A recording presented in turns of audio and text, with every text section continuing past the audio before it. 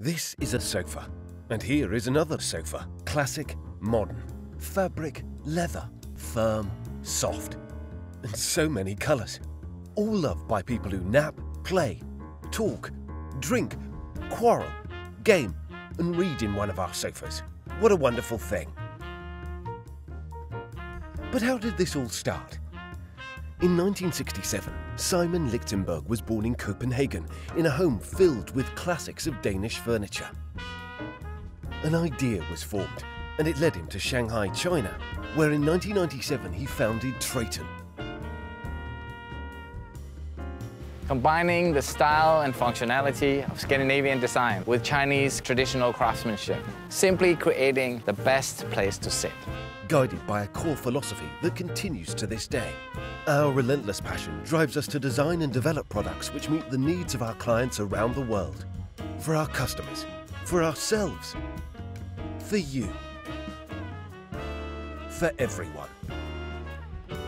At Trayton, we have the largest, most modern facilities, equipped with state-of-the-art technology and innovation which places us at the forefront of our industry. But sofa making is also a traditional craft.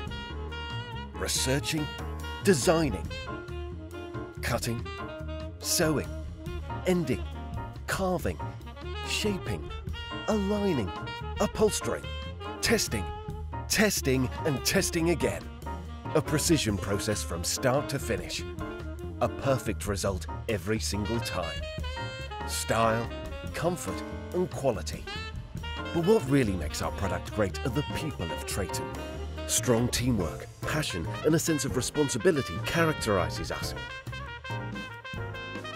We love what we do, and we have the best tools in the world. The hands of Doris in PD, Shui Ping in cutting, Jie sewing, Jinlong's carpentry and Junjun's finishing, Angie in marketing and Damon in sales.